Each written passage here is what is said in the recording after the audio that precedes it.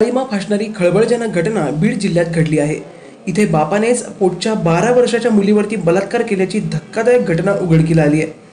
या प्रकरणी नराधम बापावरती बीडच्या ग्रामीण पोलीस ठाण्यात गुन्हा नोंद करण्यात आलाय.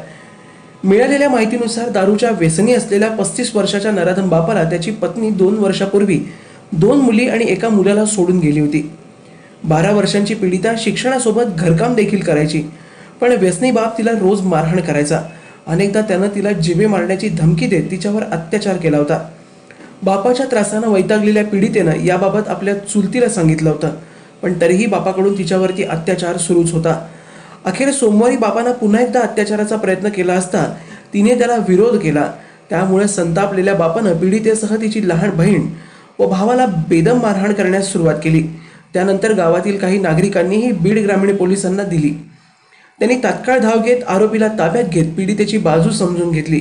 त्यानंतर पीडितेनं आपल्या पिताविरोधात रितसर फिर्याद नोंदवली आहे.